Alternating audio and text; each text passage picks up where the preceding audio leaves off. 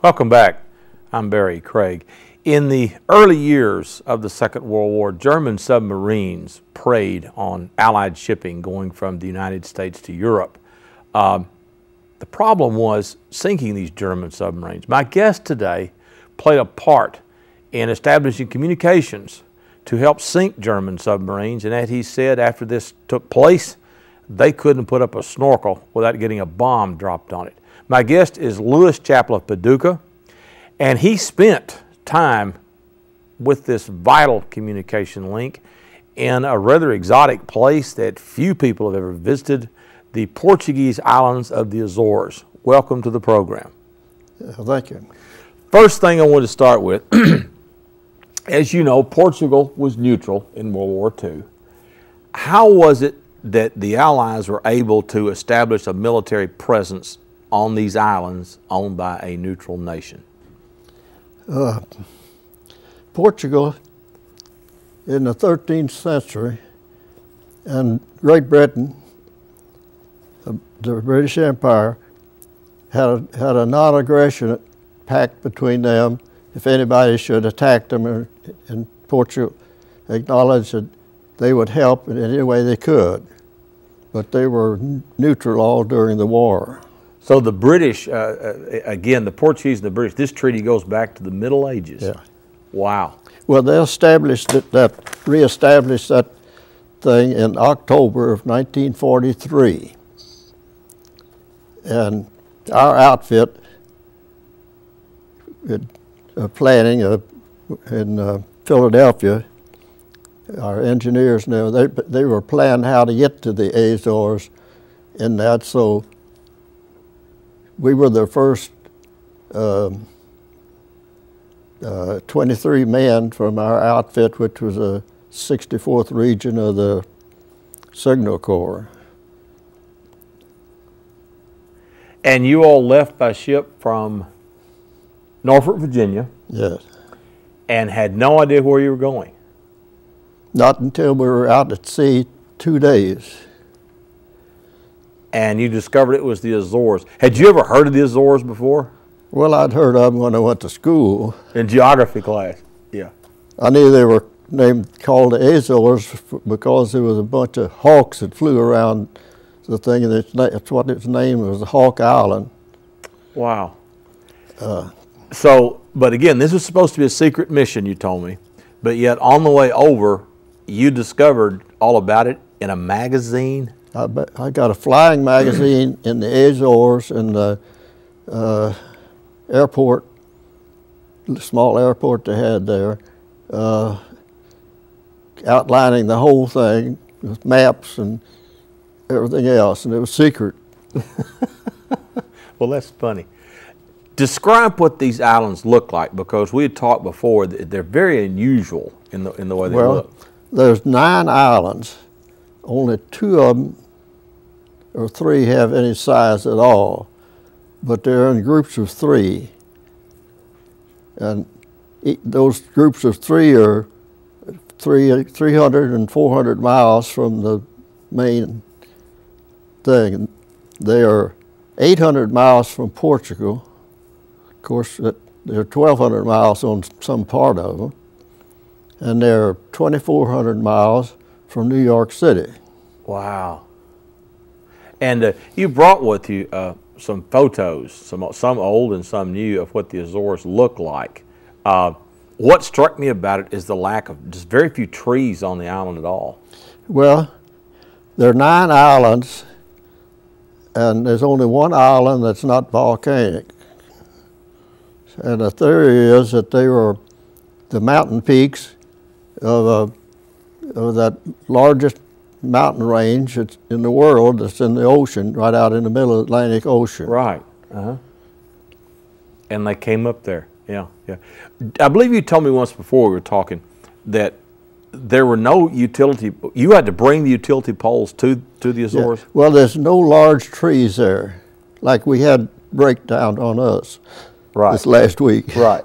Uh, but there's just shrubs, and uh, the island is rich in uh, volcanic dust and and stuff, and they they're self-sustaining and they were part of the Portuguese government, but they were what they call an autonomous mm-hmm. group. Mm-hmm. Mm-hmm. Now Well, that- now, how many poles did you bring? Do you remember? There's about 50. And then how did you get them from the ship to shore? Well, we couldn't go in ourselves to unload in, at a dock or anything because there'd been set ducks for the submarines at that time. So we went over the side, down it, climbed down rope ladders, and jumped into a Coast Guard, big Coast Guard boat, and we we dropped our barracks bags of everything we owned first, but uh, you had to wait for the boat to swing towards you and get close to you.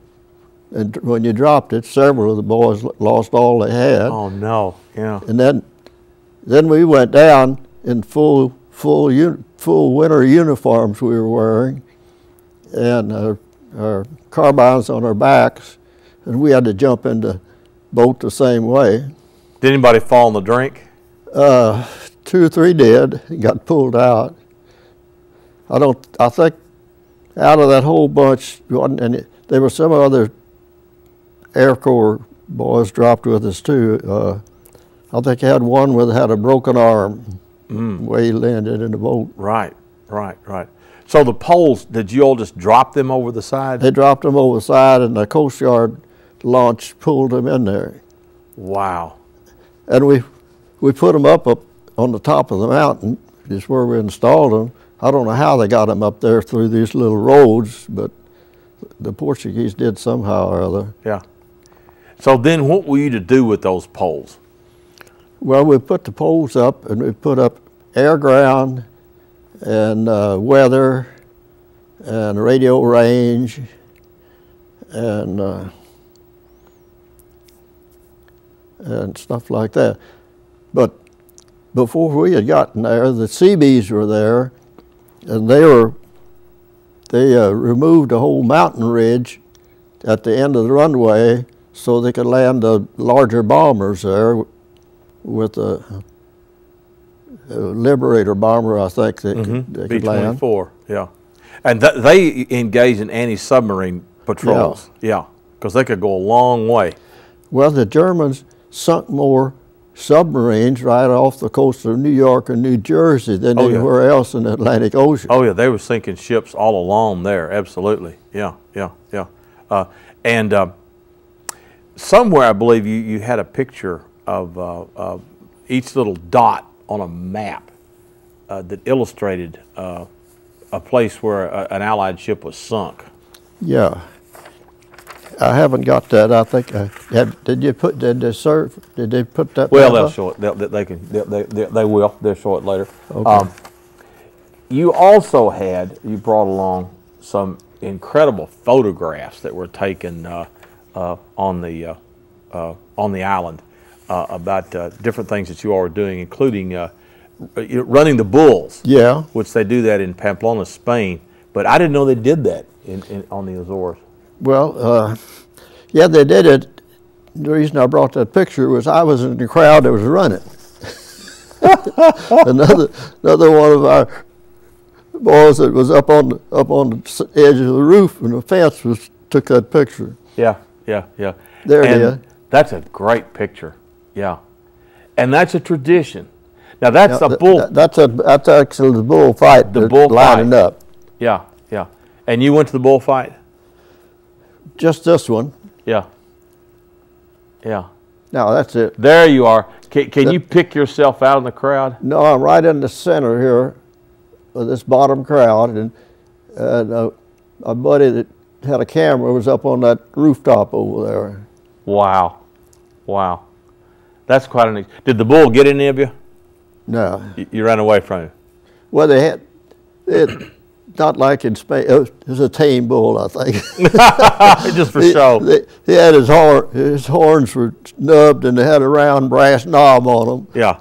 Yeah. Yeah. But I do have pictures of a real bullfight that I didn't bring because it wasn't connected with this. But one of my teammates was on here, Theodosia Gomez, went to Spain, and he took the pictures of the thing. Uh huh. But in that, you don't really see the bull when he gets thing because it's raised so much dust you can't see that. Is that right? Huh. Another thing you told me about one of the difficulties in, in laying this wire was you had to go down little roads and cut and because you couldn't go across fields. Yeah. Let's see if they bring that. Either one of those, uh, The, the aerial views, yeah. yeah, of the little patchwork fields. Uh, that illustrates what you were talking about. Well, these little lanes. Yeah, uh, there. there we are. So the little lanes are, are were they dirt or Well, are they paved? well, there's, there's only one st- thing through there where you see where the houses are. That's the only road going through there. The rest of the things are packs and dots and everything. Yeah. And all those square things are stacked up with the lava that's down here along the edge of the ocean. Uh-huh. The stones. Uh huh. and each one of those is is thing, and they're different crops. The brown ones are plowed ground, Mm-hmm. and then they would do it after they raised wheat. They'd for the stubble they'd put the cows in there for about a week before they cultivated again to fertilize it, That's and they rotated crops and everything. Yeah. One of the, the, the things you had some really interesting photos was of corn, how they grew corn and how they uh, how they hung it up to dry, which I'd Yeah. never seen that before. Yeah, if, if, if I show that in a minute. They will. They will. They will. Um, so they grew mostly wheat and corn when you were there. Yeah, and well, there they- it is. That's that's amazing. Yeah, well now, that way they do that, they take the corn there and they dry it, and they shuck it except for two strands, and they take that and tie it on that thing. It's a, it's it's, it's just a framework like the Eiffel Tower almost, but it's four posts. But anyway, they take that down to, they say here, uh, they uh, take it down to make cornmeal, and uh, they even feed the stock with it and, and everything. Mm -hmm. Mm -hmm. Well, now, where did you all stay on the island? In pyramid tents. In tents. I'll tell you, we got there on February the 6th at 4 o'clock in the afternoon when we got off the boat after they hauled all that stuff in. And the, they had set us up tents, pyramid tents, but they didn't do them. They was all flopping up the side of a hill. And we got our cots and everything got in. Then that night there came a storm. It rained and rained and rained and ran right down underneath our feet. but lucky we had lashed all the tents down and, and trenched them on the outside. But then we put our barracks bag on- our cot, set up and slept on that during the storm. Wow. Was the weather pretty cold? Huh? Was the weather pretty cold? No, it never it never got cold. Yeah. That was February and it was 76 degrees. Wow. But when we installed the radio man, when we installed, we took the transmitters that were in that coffin-like box, and we, we took the lid off, and and one little side that was about 18 inches, and the lid off, and then we put that in the tent and just fit a cot in there. So we had we were up off the ground in that, and we took that lid and put it down in front of the cot so we didn't have to stand in mud after it dried. Yeah. And yeah. uh, every first first we op- open everything up like that. We, every time we go out to the f- airfield, we come back at night. We'd bring one of those and fix somebody else up. yeah. Yeah. We had we had about six men in a in a tent, three sides, and then about three in the middle. Wow. But it, it was comfortable. Well, uh, as far as eating, did you have like a field kitchen or where did you eat? Well, they were installed there at the airport, they had a regular mess Oh. with the mess kit Mhm. and everything. Mhm. In fact, uh, my buddy from Tennessee, Ralph Fuson, and I, we were the main radio men. When we got a temporary building up there to put the transmitters in, we stayed out there at night and worked on it when we had a, a diesel power out there and everything to get it on the air, and they'd they'd bring us they'd bring us a meal on wheels, on jeep wheels up there for. us. Yeah. Yeah. Yeah. Um, any German submarines around the island that people spoke about?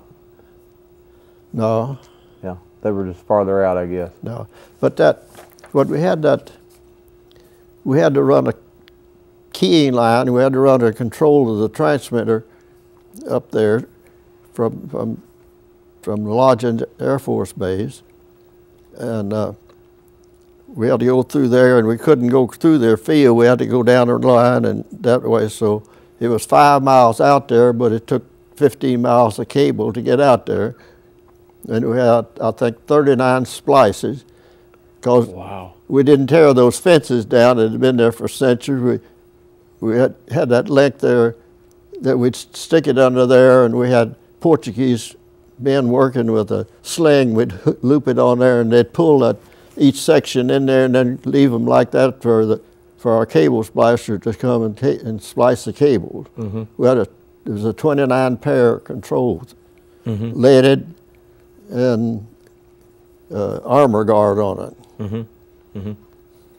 And uh, you were there from February the 6th until when? uh, till May the 30th.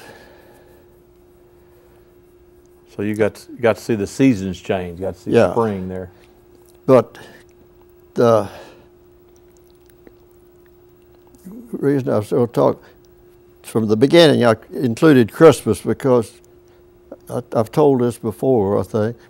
Uh, I stood up in uh, Grace, uh, Goose Bay, Labrador. We went to a midnight candlelight service on Christmas Eve, 1943, and we came out of there at midnight and stood there, and the aurora borealis was all around us. You couldn't turn any way that you didn't see it. It just like a fog. You were standing right in the middle of it.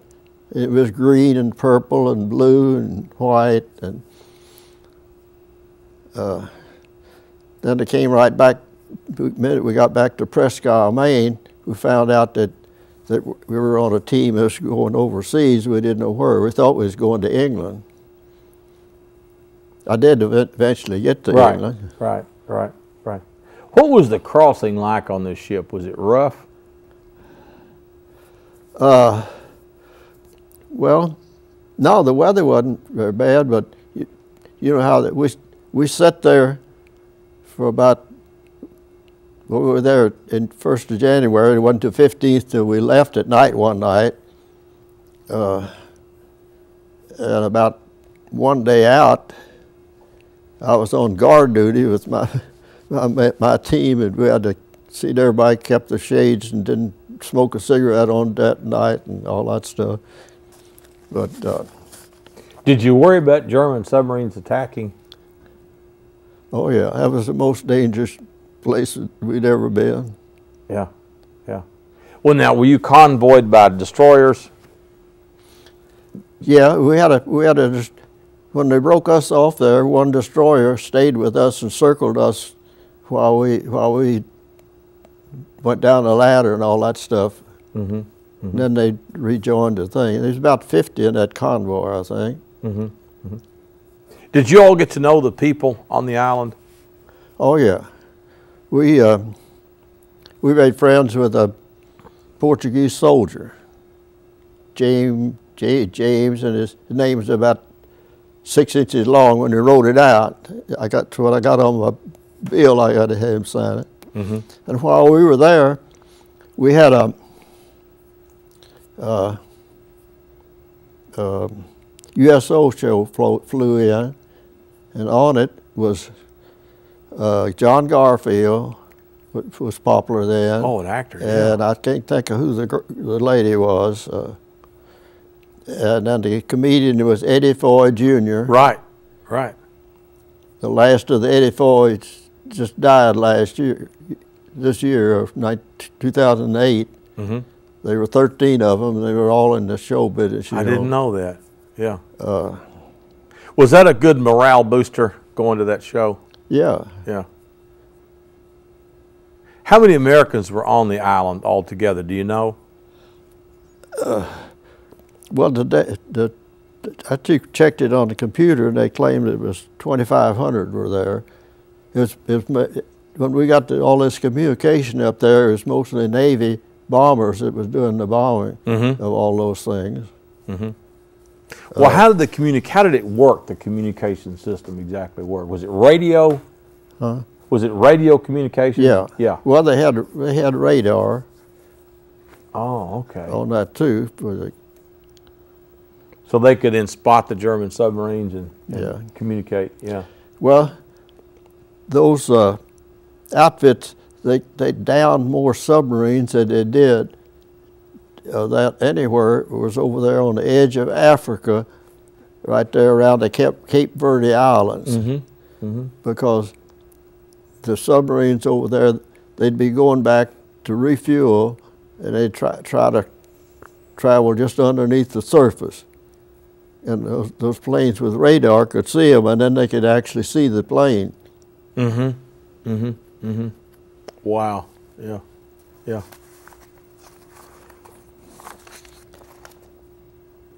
Well, growing up in Paducah, did you ever, when you were a kid, did you ever think you'd go to the eh, to the Azores when you were a kid growing up?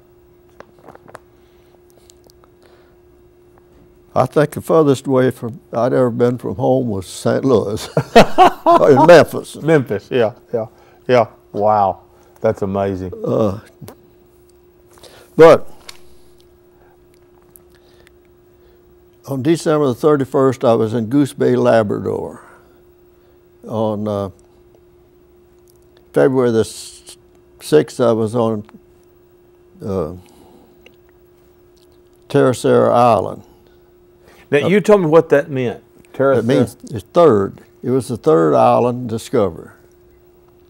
And I flew from there to uh, in a in a C-54 with most of my, my, team to Casablanca. Hmm. That's Africa. Mm-hmm. I flew from there to uh, London, England.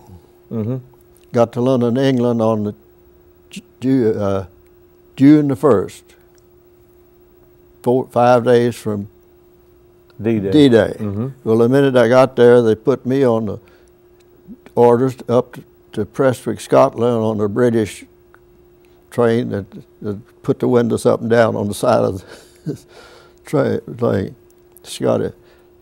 And I was up there when D-Day happened.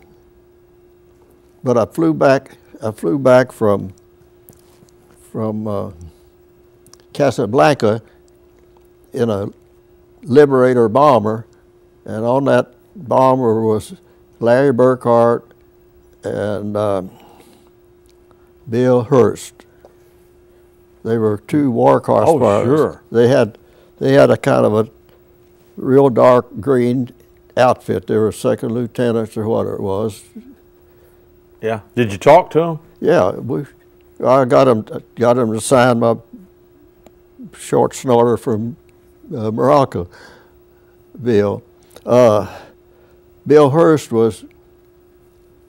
Uh, Is that Patty Hearst's father? Patty Hearst's father, to right. be.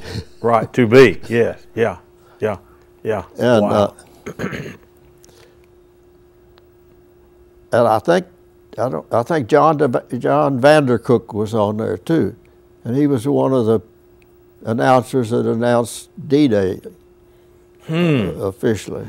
Mm-hmm. Mm-hmm. Mm-hmm. Then, did you ever want to go back to the Azores on a visit? Yeah. That'd be an interesting, interesting place to see how it's changed. Yeah. Yeah. Well, it's it's predominantly Catholic in Spanish and Portuguese. But we were fortunate there. Uh, we had four, four or five men on the team that spoke Spanish or Portuguese, either one. Oh. I had Philip, uh, Theodosio Gomez. He was from New Jersey. He was a lineman.